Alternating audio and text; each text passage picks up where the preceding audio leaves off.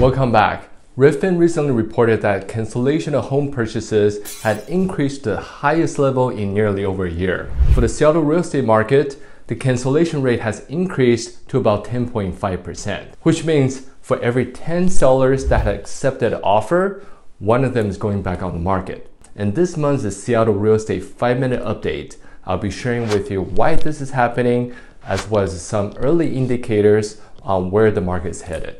So let's go.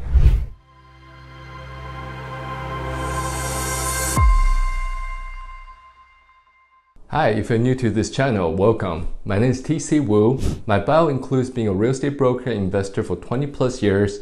I'm a state licensed real estate instructor, developer, and a partner at a real estate brokerage and property management company in Seattle. Now, the first reason that's causing the buyers to pull back is that there are simply more choices available. Take a look at this. We currently only have 1.7 months inventory available, but it's been trending upwards since the beginning of this year. Since the balanced market is between four to six months, we're technically still in a seller's market. But buyers today are much more selective and cautious compared to before. Second reason is that most experts are projecting that the mortgage rates will come down as inflation is now more or less under control. And a lot of buyers who are not in a rush have simply decided to take a step back and wait for conditions to improve. In other words, the fear of missing out, aka FOMO, is no longer the motivating factor driving a lot of buyers to throw everything they have at a property.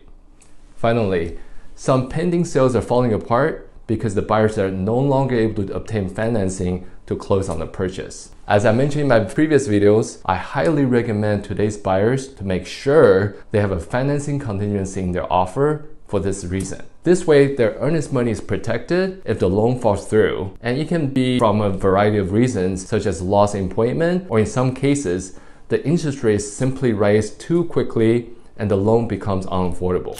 Now let's talk about the housing prices.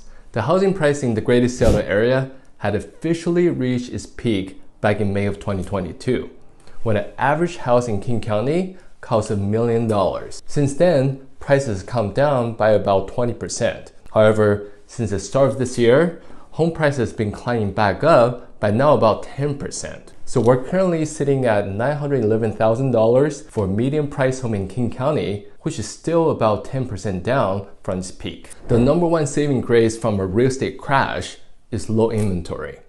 That's partly due to lenders having imposed much stricter lending guidelines since the housing crash of 2008. Also, despite some layoff announcements, Seattle's unemployment rate is relatively low, currently sitting at 3.4% versus a national average of 3.8%. Therefore, we're not seeing foreclosures or short sales flooding the market right now. To put things in perspective, take a look at this. What you see here is the new inventory level for every single month over the past three years. New housing inventory typically peaks around June and July, and by September, October, we typically see a drastic drop as more sellers stay put during the winter months. Without fail, new inventory always hits bottom in December because of the holidays. Hence, every year you can see a distinct pattern the inventory cycle, peaking the summertime, then dip down in December.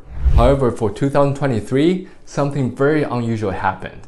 Our new inventory in the summer months never even come close to the same time the previous years. For example, over the past three years, we have been getting about 3,000 to 3,800 homes for sale on a monthly basis in the summer. This year, there have been only been 2,000 to 27 homes entering the market for sale each month. In other words, for 2023, we have about 30% less new inventory compared to historical levels. Finally, we have to talk about the latest on the rising mortgage rates and the implications.